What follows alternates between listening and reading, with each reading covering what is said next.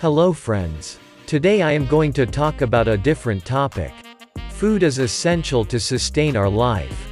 They should not be wasted. These two are very famous among people who waste food like this.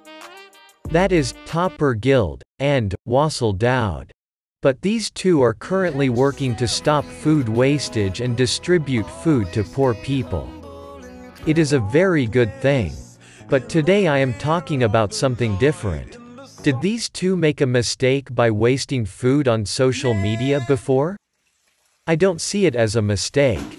Against the videos they post on social media, a group of people posted videos on social media of feeding poor people with their money.